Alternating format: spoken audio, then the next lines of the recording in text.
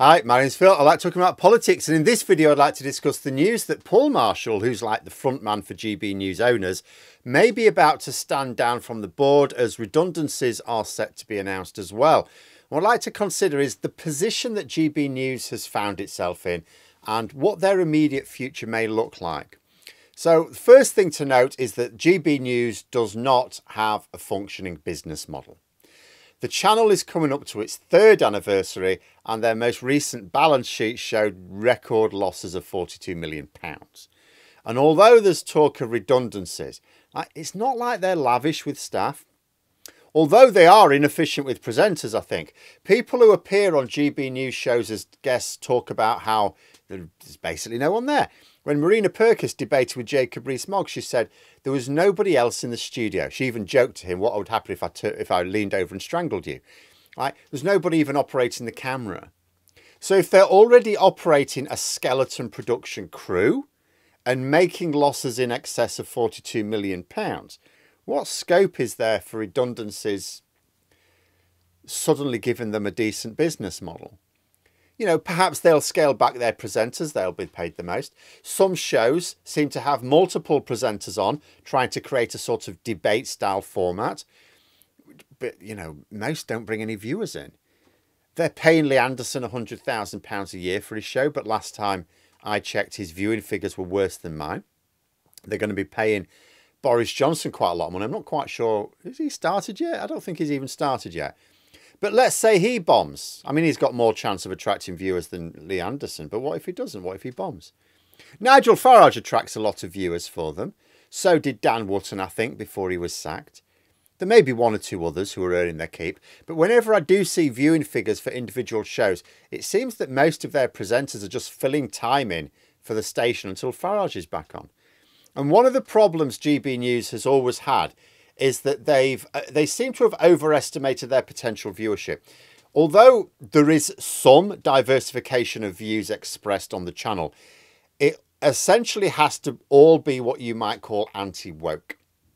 The channel seems designed to push a very hard line on persuading people that civil liberties are somehow a problem. And there are a lot of people in the country who allow themselves to be persuaded of this thinking that actually if you remove civil liberties, it's only removing them from the people they don't like, not from them. But having that central line running through all of their shows and agenda nonetheless limits their potential audience. And for this limited audience, they also had competition with Talk TV, which was the Murdoch attempt to do basically the same thing. Although Talk TV was the first to blink, they've decided they did want a business model, so they've dropped out now, or at least dropped out of the, the television broadcast race. So maybe GB News can harvest some of their viewers. Maybe their losses next year will just be back down to 30 million or something. But money is also an issue. It's not just that their viewing figures aren't great. Like they often talk about, oh, how we're beating Sky or BBC. It's not really true. They're not getting more viewing figures than them. They're just fiddling the nature of their output to compare themselves with lower audience shows on the big channels. But views aside, they also have problems with advertising revenue. A lot of companies boycott them because of the extreme nature of the views expressed on the show. And of course, because a lot of people use their consumer power to stop buying the products of those who do associate themselves with the channel, even some companies that do advertise sometimes are put under pressure to stop advertising. And then GB News has a big old whine about it. But this creates a double problem for GB News. First of all, because advertising is basically an auction, if there are fewer companies competing for that advertising space on their channel, then each will not have to pay as much for it.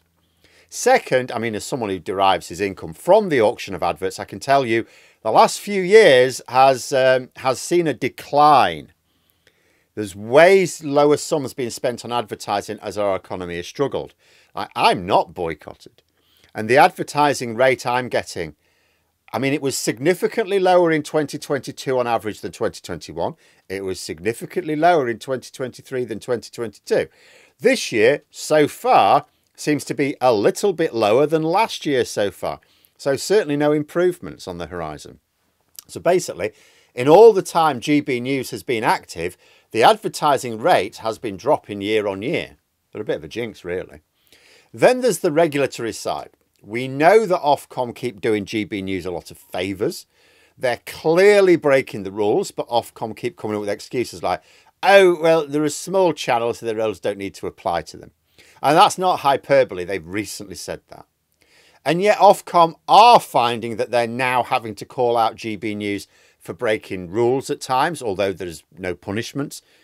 But we are about to change to a Labour government. Now, Labour governments traditionally don't mind regulation, and there'll be no love lost between the party and GB News if Ofcom were to be given some teeth and told to do their jobs properly.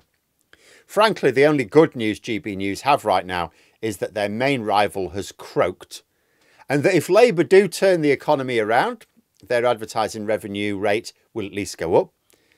But if they have to comply with broadcast media rules properly, they'll have to change their output, and then where will they be then? Perhaps they can cut costs and better comply with the regulations by not paying Tory MPs to host the shows. After all, there won't be many Tory MPs left after this year, we hope. You know, Jacob Rees-Mogg, Anderson, they're not favourites to remain MPs after the election. So if they want to carry on presenting shows with Tory MPs, they may need to find alternatives, or they could just carry on operating as a sort of politician's graveyard, because they have former right-wing politicians presenting as well. But with the news that Paul Marshall may be stepping down, so then there's been a lot of talk in the last 24 hours about would GB News even survive? Now, it does depend on the reason. What seems likely is that actually Marshall's just so desperately wants to take over the Telegraph that maybe he's been privately told that his his direct involvement with GB News is a bit of a barrier to that, and maybe he's stepping down for that reason. We remember it, it, it, we don't know he's definitely stepping down. And if that is the reason, of course, he'll just rearrange things to make sure his money still has representation via a proxy.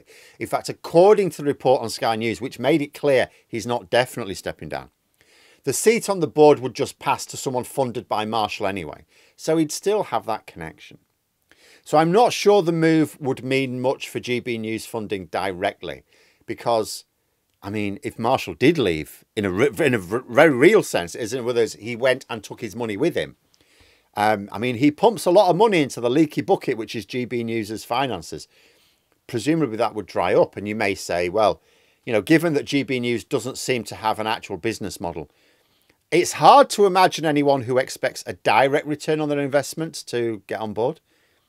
And you may say, well, I mean, there's always a billionaire willing to chuck a few quid at a propaganda machine in order to shift public attitudes in a way which makes them much wealthier. I mean, Paul Marshall was such a beast.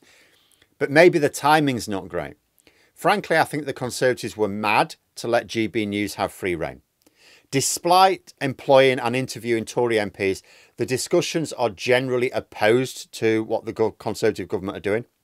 They're no friends of the Conservative Party. So the fact that the Conservative government hadn't been making sure Ofcom dealt with them properly remains a mystery to me.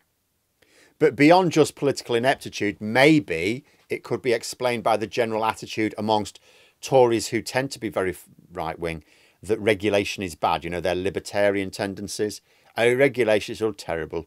Maybe their natural inclinations prevented them taking GB News to task.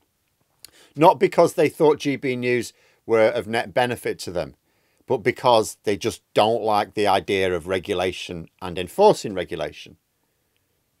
Labour gain nothing from letting the channel be a law unto themselves. GB News poisoned the political debate with lies, which is a threat to Labour's attempts to normalise politics, and Labour have no ideological predisposition towards deregulation, quite the reverse in fact. There's every chance that regulation could be tightened up for the media, but even if it isn't, then surely the next government will at least ensure that what regulation is on the statute books is complied with. And what would GB News do about that? Whine to their viewers about a political witch hunt? I don't think they're attracting Labour's target voters, so I'm not sure that's going to work. But there we are. Those are my thoughts. If you enjoyed the video, please subscribe for further content and click the like button. You can also sign up for memberships if you'd like to support the channel further. Thanks for watching, and until next time, I'll see you later.